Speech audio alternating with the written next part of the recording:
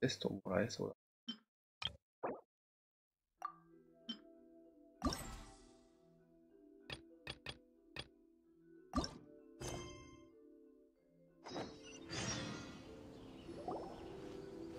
奇遇だね。ちょうど君を探そうとしていたところだった。用がなかったら君にい会っちゃいやもけないのかい？ちろんね、いっぱい弾けたらね、君とゆっくり座って話をしたいところなんだけど、サポート。今回はクレイのことで頼みがあってね。上陸する前僕は稲妻についての話をクレイにたくさんして。あげたんだ。そのためかクレイは稲妻の文化や人々にとても興味を持ったみたいでね。だけど僕は実験しなきゃいけないってなると。五、河川の肖像画以外にもあ稲妻での用事がいろいろとあるんだしばらくはクレイに付き合ってあげる時間が取れないだろう。さすがにモンドじゃないからね。あの子一人で稲妻を走り回らせるわけにもいかない。だから今のところ用事が済むまでクレイには万国商会で留守番してもらうしかないんだ。嫌とは言わないけどやっぱり少し寂しそうにしていてね。幸い今は君とパイモンがいるだろだから英雄騎士のお兄ちゃんだ英雄騎士のお兄ちゃん何のお話をしてたの？一緒にお外に遊びに行く話？うんでもアルベドお兄ちゃんは忙しいからあまり遠くには行けないんだ。遠くに行あったら新しいのでアもね、ルベドお兄ちゃんが心配しちゃうでしょ？のでもね、嫌なとこ。クレイは本当に優しくていい子だな。うん。はっオイラだって優しいだろ毎回美味しそうなスライムを目の前にするたびに20年ぐらいで出てくれればいいんだよ。って思ってるんだぞ3人。でもせっ大かく体楽しみにしてた場所に80 90来だかられたのに90までは行ったことはないけど、さすがに。外で遊べないなんて86、7とかその辺は1回あったような気がするけど、80年ぐらいには、まあ出るけど、基本的に。何でもできる旅人と頼りになるオイラがクレイに稲妻を案内してやろう。ぜクレイ。まあ年上の人をお兄ちゃんとか言っちゃうんじゃない？他の人をお姉ちゃんって言っちゃうんじゃない？クレイは僕たちの火花騎士だからね。くれぐれもちゃんと守ってやってほしい。うんうん。えっとつまり僕が言っているのはクレイをトラブルに巻き込ませないでほしいというこまあとだ好きなキャラを取ってみる例えば一つの手がも。稲妻の丘の俺一角が欠けてしまったり螺旋のために町取るっていうのも、爆発が起きたりするようなそんなトラブルそれぞれだね。キャラをバンバン取るっていうの。よかった安心したよ居づらくなるよね。過去のキャラね。これから新しい地域がね出てくるからって帰ってきてあげるね。新しい、あるキャラクターたくさん。出揃だから。あやかとか、助かったからな。稲妻には面白い場所がたくさんあるんだ。料亭とか神社とか。どこも個性的で面白いぞ。クレイはどこに行きたいんだ？料亭ってどんなところ？食べ物とか飲み物を売ってる場所だモンドで言うと鹿狩りみたいなレストランのことだな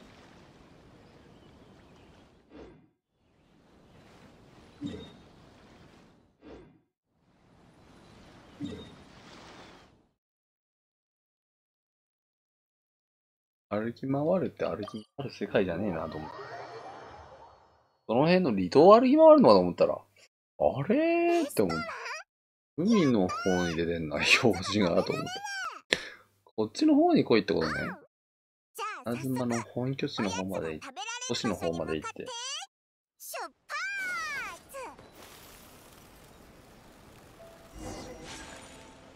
発星と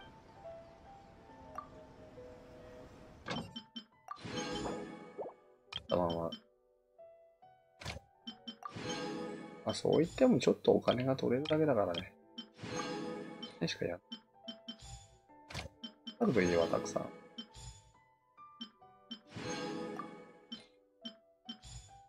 はい、いや。稲妻のなんか、あの、バフモデルキャラいればな、もう一度。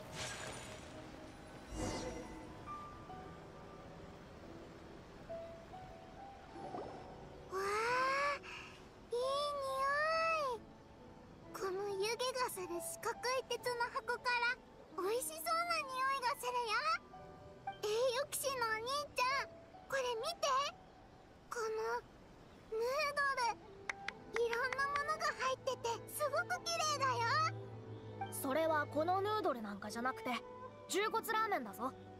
うーじゃじゃああのお皿に入ってる黄色くて赤いのは何？それも知らないのか？それは串焼き三種。じゃあこれは？この黄色い小さなケーキ。それは長蘭の卵焼きさ。すっごく美味しいのに。食べたことないのか？わあ重骨ラーメンに串焼き3種それに長蘭の卵焼き。すごく美味しそう。稲妻の人に逆に。当たり前さ。君外国から来たんだろ？外国人。道理で食べたことないはずだよな。俺の小遣いで君に長蘭の卵焼きを一つおごってやるよ。俺たち稲妻のうまいもんを食わせてやる。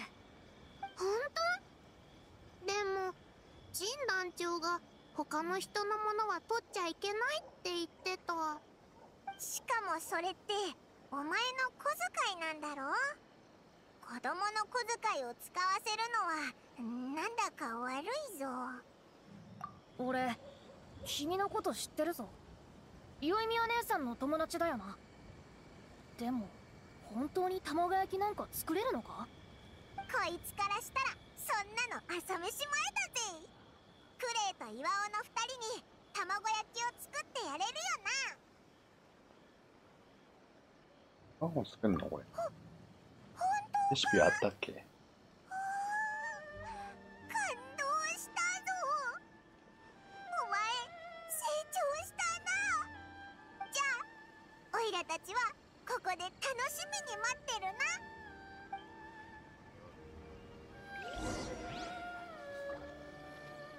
本当に作るの卵。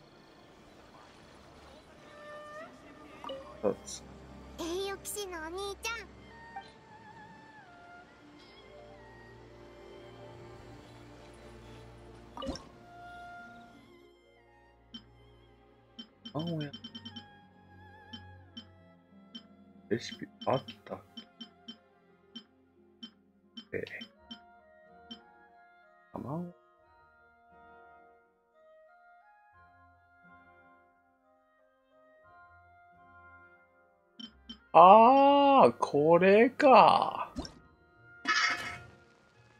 もしかして。え、本当かよ。本当にこれ？栄誉騎士のお兄ちゃん違うっぽいな。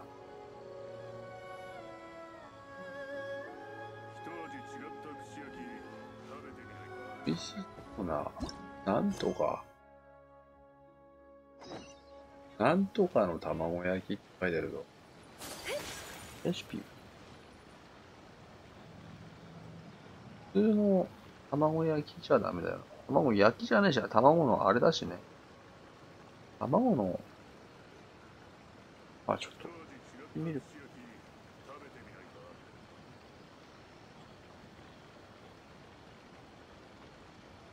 これが旅人さんの普段の暮らしですか？普通に考えたらさ、レシピない？またあなたに少し近づけた気がします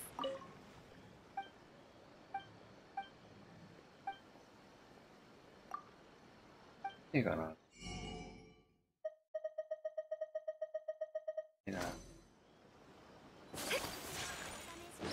鶏卵の卵焼きって書いてるような。レシピあるな。待った時ある。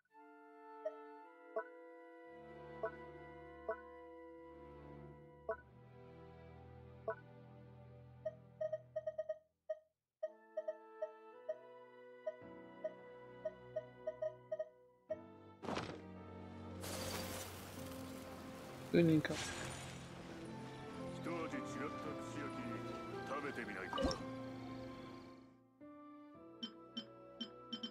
稲妻の食べ物っぽい。卵。やべえじゃん。どこにあんだ普通にレシピあんのかなしてんのかななんか、だとか、ぽいよな。機械の食べ物に。ん？あったあれち、え？鳥じゃあね。あ、これだ普通にあったわ。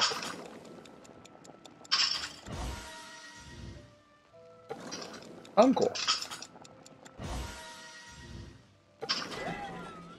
っちゃった。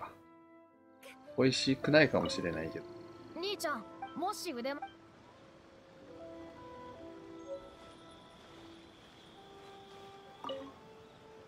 栄誉騎士のお兄ちゃん卵焼きってどんな味なの？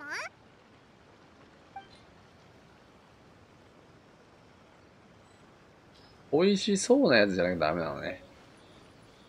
あ、成功したやつじゃなきゃダメなのね。場所は分かったからまあいいや。あ簡単に作れるからね。初めの時はさっぱり分かんなかったけど。栄誉騎士のお兄ちゃん簡単ではある。おもてなしをするってことだね。クレイ、クレイの今日。多分この、本当にできてる。兄ちゃんすげえうん甘くてすっごく美味しい。うんうまいな。やっぱり旅人は最強だぜ。卵焼きは美味しかったけどやっぱり俺はゆいみや姉さんの方がすげえと思うよいみや姉さんって誰？その人も卵焼きが作れるの？よいみや姉さんは何でもできるんだ。物語が話せて金魚を飼ってて花火も打ち上げられて俺たちに飴もくれる。世界で一番すごくて一番いい人なんだぜ。クレイの中ではママが世界で一番すごくていい人だよ。それに他にもまだまだクレイもいい人をたくさん知ってる。アルベドお兄ちゃんでしょ栄誉騎士のお兄ちゃんにジン団長。それからガイアお兄ちゃん。クレイまさか全員の名前を言うつもりじゃないよな。えっと君の言った人たちのことは知らないけどよいみや姉さんなら紹介してやれるぜ。一緒に来いよ。よいみや姉さんのところに連れてってやるからさ。いつもの祭りだとよいみや姉さんはすごく忙しいんだ。でも今回は忙しくないから俺たちとも遊んでくれるぜ。なんかよいみや姉さん最近あんまり元気がないみたいでさ。もしかしたら君が来たらよいみや姉さんも元気になるかもしれない。うん。一緒によいみやお姉ちゃんに会いに行く。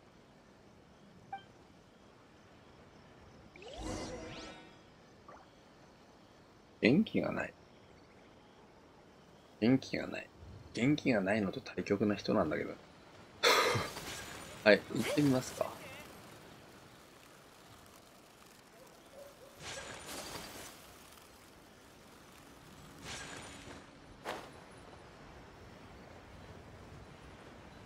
え、花火のどこでいいの？わ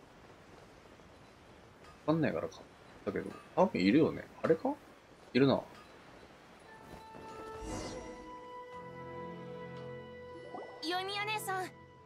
そんなに悲しまないで。僕が面白い話をしてあげるよ。昨日角の生えたお兄さんと虫相撲をやったんだけど3回とも僕の勝ちだったんだよ。一斗に勝つなんてやるやんか。松坂あんたすごいな。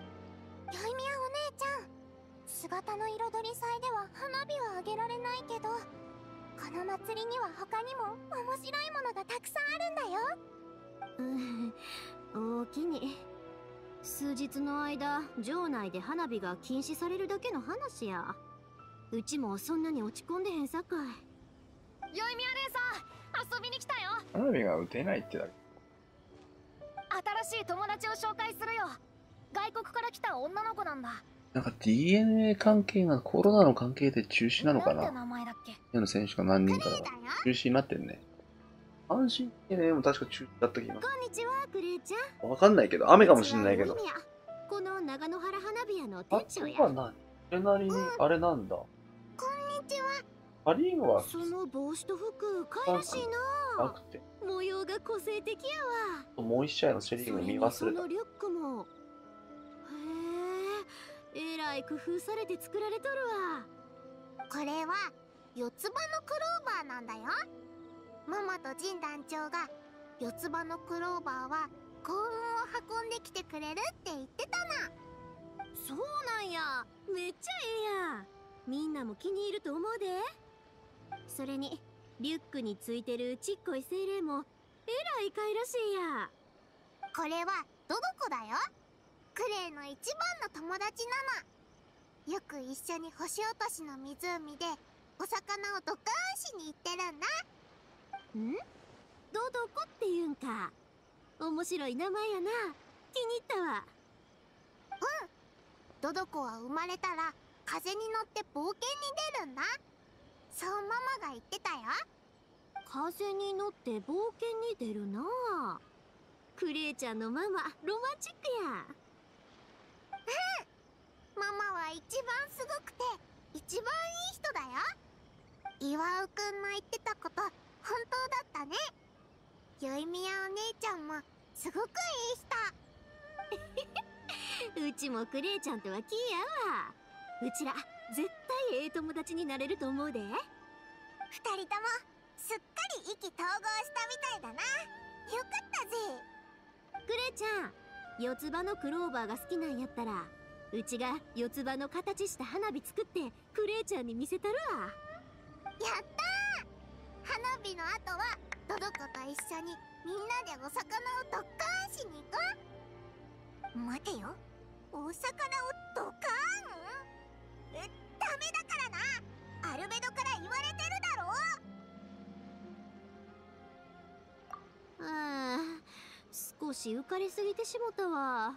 忘れてまうやなんて。シャブ業の人から言われてるんや。姿の彩り祭の期間中は稲妻全土において花火は禁止やってな。じゃあダメなの？うーわかった。おいおい。新しい友達ができるのって嬉しいことのはずだろ？なんでこんな悲しい空気になってるんだよ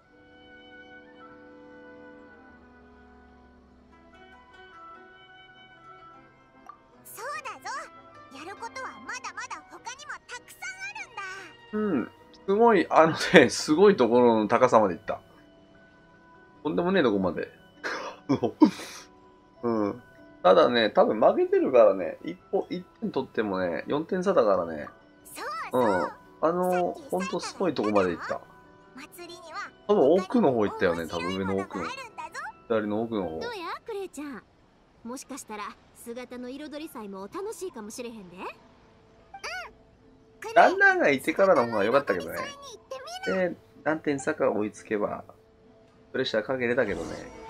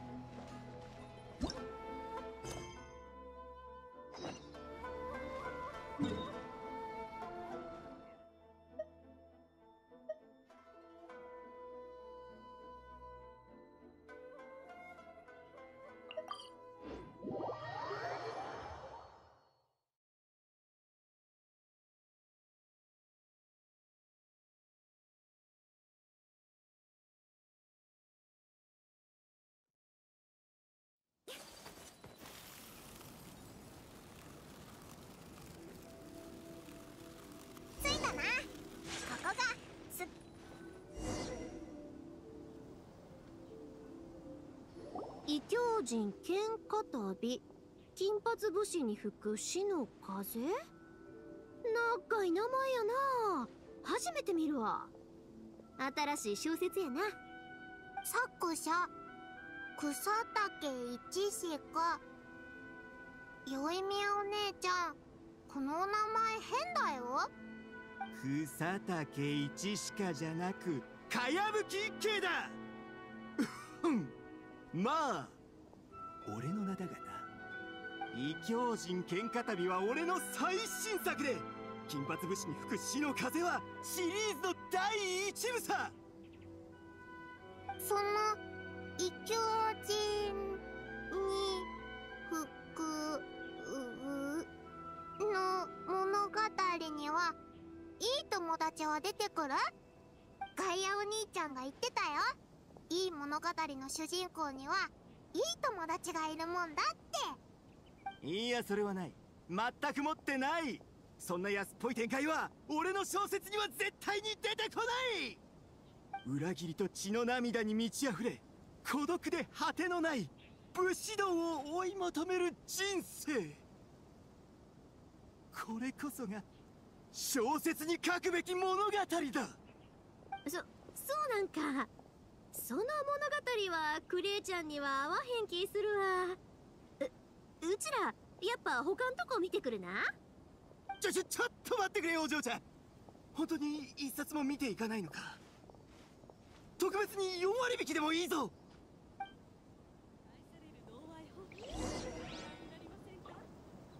ああ、確かに確かに。うん、そうだね。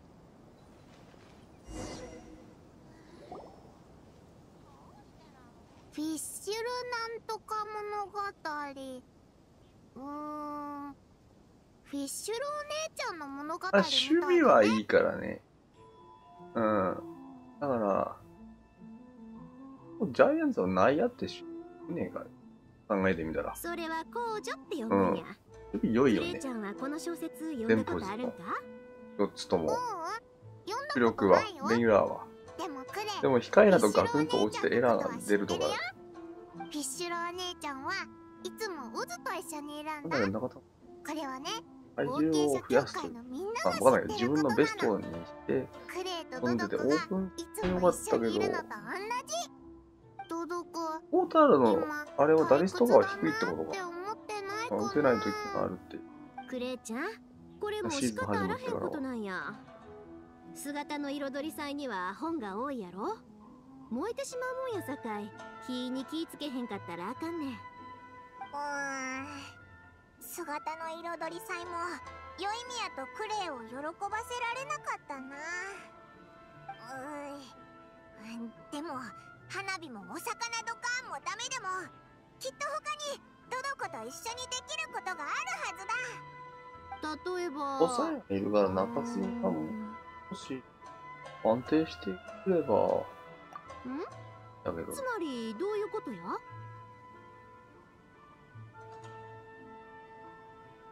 そっか。姿の彩り祭っていうのは作品を展示する場なんだから。みんなと同じようにドドコの物語を展示するといいと思うぞ。うんうん。この考えいいんじゃないか？クレイねアルベドお兄ちゃんにお絵かきを教えてもらったことあるよ。ドドコが稲妻で出会ったことクレイかける。想像力豊かでええやん。うちも賛成。それにかけた物語を姿の彩り祭で展示できるなんて楽しみやわ。やったー。ドドコもきっと喜ぶはずだよ。うんうん。よかったな。じゃあクレイちゃんうちの店に紙とか筆とか絵の具取りに戻ろう。一緒に物語書くで。うん。出発！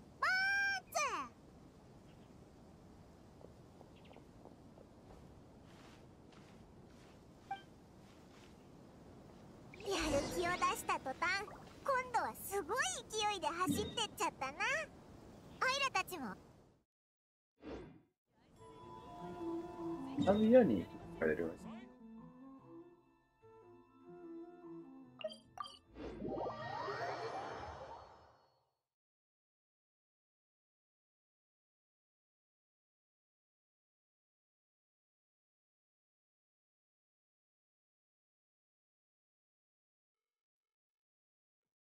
そうだね。いあの、フミヤの衣装はね、うん。まあ、まあ、からし巻いてる系が合わん人もいるかもしれないしね。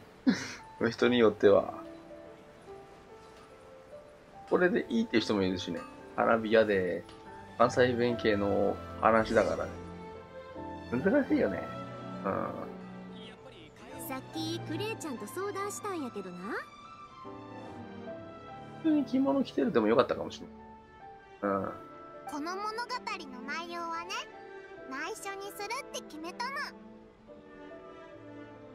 まあ理由は聞かんといてや。中後でわかるし。関しては、まあ、うちらが店にいるでもまあそうだね。姿の彩りさんまあ、日本ハムに行ったら多分干されてたってか、使われなかった。あれ何ヶ月か出場停止とかになってただろうから、まあ、では試合ができるっていう面では巨人良かったかもしれない。あれおいらみんなで絵が描けると思ったのに。うんなんか気が収まらないぞ。あいいこと思いついた。窓辺に行ってみようぜ。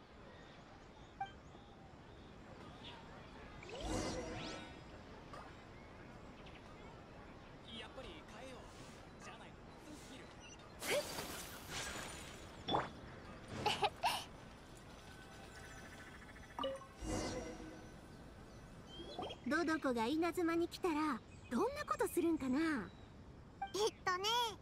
ドドコは美味しい串焼き3種と牛骨ラーメンと長蘭の卵焼きを食べるんだよ。へえええ感じやん。クレイちゃんはそれ書いてるんか？めちゃくちゃ上手に書けてるわ。書き終わったら印刷しようか。行算数って姿の彩り祭で配るででも印刷するんやったらモラいるやんな。うちが普段から貯めてるお金で足りるんやろか。よいみやお姉ちゃんクレイもモラ持ってるよ。50モラじゃ足りひんかもな。本当にどうしようもあらへんかったら旅人に何とかしてもらうか。うんとね。栄養騎士のお兄ちゃんはすごく大変だからクレイもう迷惑かけたくない。だからクレイがお魚をドカーンしてこれなんでこういう状態になったの？お魚ど海かのクレイはなんか。パイモンちゃんと旅人に言われてんのやろ？最初でなんかいいことしてたってことじゃあアルベドお兄ちゃんに頼あれだったの？かしてなかったわ。アなんでこの状況になってんだろアルベドお兄ちゃんはクレイのお兄ちゃんだよ。すごく頭が良くて何でもできるな。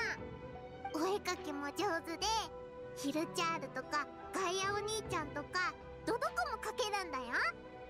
アルベドお兄ちゃんが稲妻に来たのもみんなに絵を描いてあげるためなの。ああなるほど。クレイちゃんの言うアルベドお兄ちゃんは多分八重堂に協力してる画家の先生やねんな。画家の先生？それって絵を描く先生のこと？アルベドお兄ちゃんってスクロースお姉ちゃんの先生なだけじゃなくてお絵描きの先生でもあったんだね。ゆいみやお姉ちゃん見てて。アルベドお兄ちゃんが教えてくれたの。ドドコの色はこうやって塗るんだよ。へえよう似てるわ。そうやったらうちはこっちの街道書いとくしクレイちゃんはどどこに色塗ってや。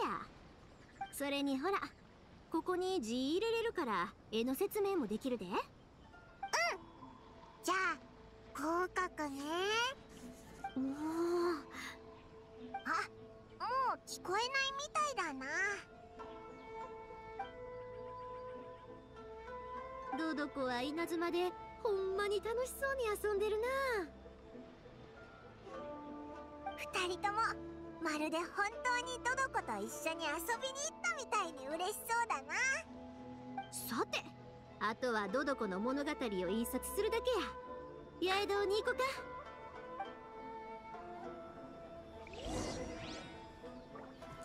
う。かない。あると。形か。印刷してもらうのこ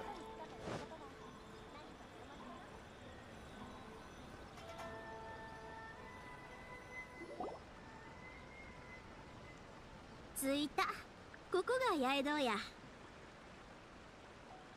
八重堂の人あいた！新谷おばちゃん。クレイの知ってる人！おおおばちゃん？誰が私をおばちゃんだって？ああ白亜先生が連れていた妹ちゃんね。クレイちゃん今日はどうしたの？新谷おばちゃん手伝ってほしいことがあるの。ドドコの物語を印刷してみんなに見せてくれないかな。ドドコ？もしかして妹ちゃんも小説を書いてるの？ドドコっていうのはその物語の主人公かな？いやちゃうね。んドドコっていうんはほんまにいてる存在やで。ほらこれがドドコや。先発ピッチャーをええわからないわが説1明年するぜタイムリー。3点。なるほどその願いに応えてあげたいのが山々だけどごめんなさいねこれも絶対ないし。姿の彩り祭における個人作品の印刷委託はもう期限が過ぎてるのよ大変だね、それってセンター返し。ドドコはみんなに会えないってこと？ごめんねクレイちゃんうーん。クレイちゃんそんな悲しむことあらへんで。まだうちと旅人がおるやん。うちらが方法考えたるわ。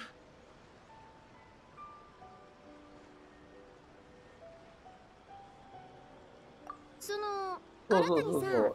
本当にどうにもできひんのか？モラならいっぱい出すで。うん。印刷の海人手が足りひん言うんやったらうちらが手伝うだからね。よいみやさん。お気持ちはわかるけれどこれはそう簡単に解決できることじゃないのよ。今回私たちが個人作品の印刷まで手伝ったことで多くの本の印刷が遅れてしまったの。最近は印刷工場も大急ぎで遅れを取り戻そうとしてるわ。だから本当に無理なのよ。どうしよう。本当にどうしようもなさそうだぞ。いや諦めさせたりせえへんで。うちが子供の頃父ちゃんが祭りに連れてってくれる言うたのに仕事が忙しすぎて忘れられてしもたことがあんねん。いつになったら父ちゃんはうちを連れてってくれるんやろ？ってずっと考えて。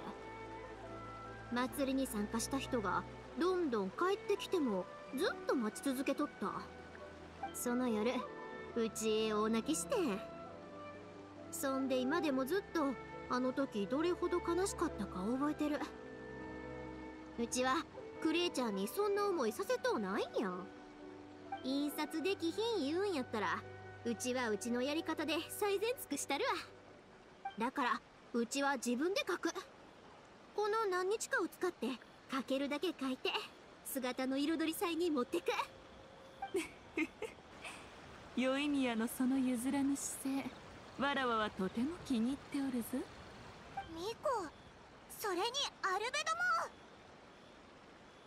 状況は相分かった。申し訳ありません。八重様。よい分かっておる。汝はただ決まりに従ったまで。それに印刷の進捗も確かに芳しくはないからの。じゃが八重堂は人々に夢と喜びを与える存在じゃ川行き目の子の願いすら叶えられぬなどみっともないことこの上なしじゃ。そうじゃな。うむ。わかった。よい宮そして目の子よ。主らの作品を印刷させてもよいがちょっとした代価を払ってもらうぞ。それでもよいか？宮司様代価なんてとっくに覚悟してます。もったいぶらんと言うてください。まったく。何も恐ろしいことではあるまいしわらわを鬼ババのように言うでない。わらわが言いたかったのは今から印刷をするには一つしか手段が残っておらぬだろうということ。それは他の印刷物の余白に付け合わせ印刷をする方法じゃ。じゃが現状反面にはもう角しか印刷できそうな余白が残っておらぬ。その本を入れるには大きさを半分にする必要があるぞ。そのような犠牲を汝らは受け入れられるか？クレイちゃんうちらの本を半分までちっちゃくしたら宮司様が印刷してくれはるらしいんや。それでもええか？いいよ。ありがとう。宮司様お姉ち この子はなんと可愛いんじゃならこれで決まりじゃな。新たに今晩の印刷に間に合わせよ。はい。今すぐ手配してまいります。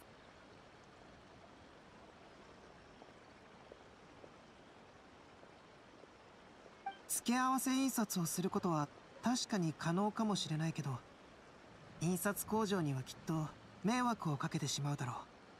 本当にすまない。気にせずともよいこの小さき手助けはクレイちゃんへの手土産じゃ。それにこの先も八重堂からは汝に挿絵を頼むことがあるじゃろうからの、まあ、いい人だね。生まあ、これはわらわの投資だと思ってくれて構わぬぞ。八重堂のこれ、あ、ちょみたいなもんな上汝ら兄弟を邪魔するのもあれだしから八重堂なのこれ、わらわはもしかして。先に行くぞ。よしこれで完璧に解決やなあとは八重堂からの言い知らせを待つだけや。良い宮に旅人。まさか二人がクレイにこんな楽しい思いをさせてくれていたとは。本当にありがとう。気にせんでええって。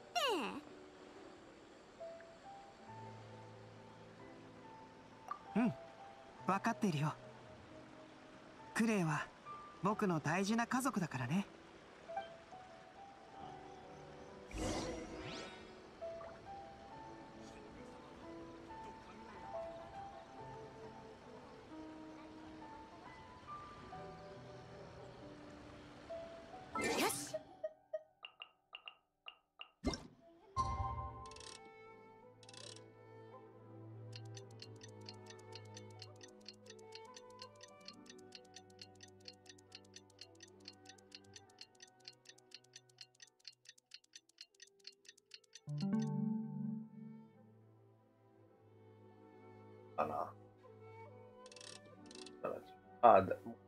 やらかしたわ。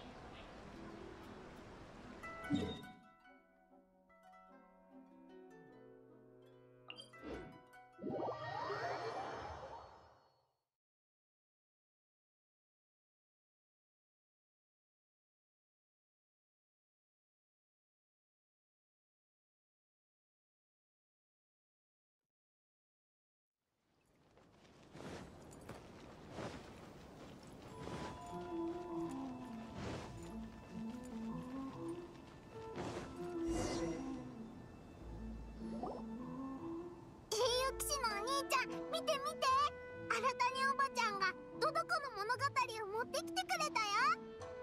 これでやっとクレイとヨイミヤが隠してた秘密の内容が見れるぜいやまあそんな大したもんでもないんやけどな。ドドコと？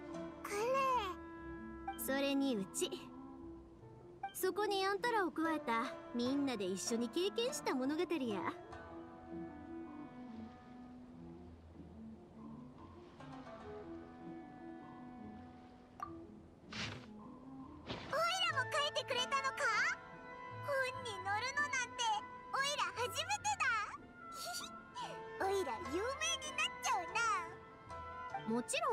ンちゃんかって出てくるで。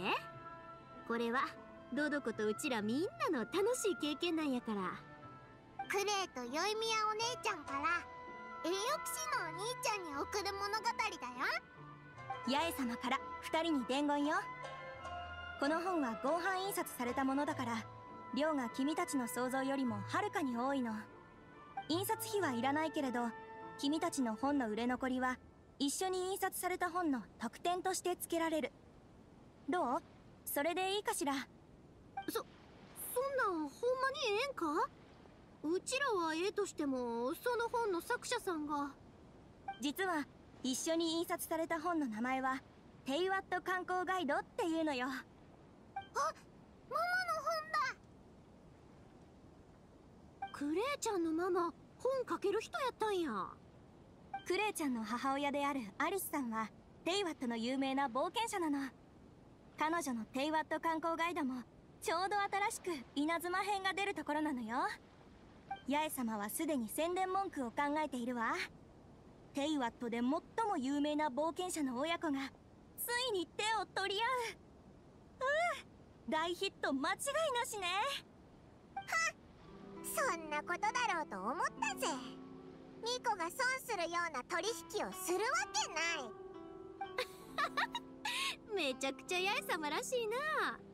でもこれでよかったんじゃ？クレイ嬉しい。ママの本と一緒になれるなんて。まるでクレイとママが一緒に冒険してるみたい。姿の彩り祭に来られて本当によかった。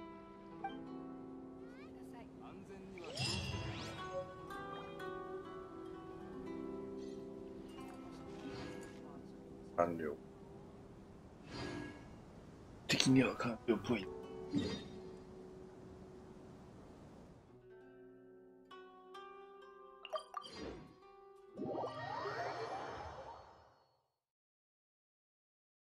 あとはもう一つのやつやってって、なんか分かってない。その辺の素材の写真撮るやつ。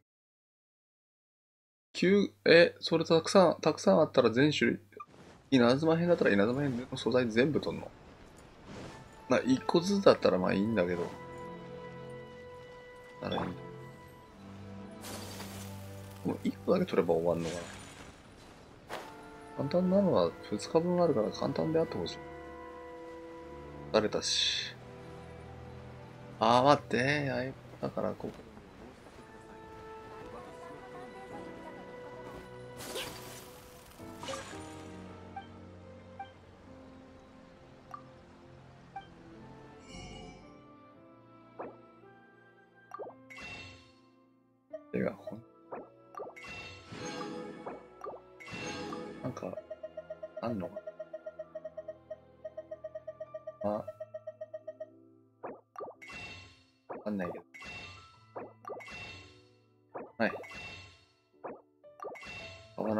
やろうから。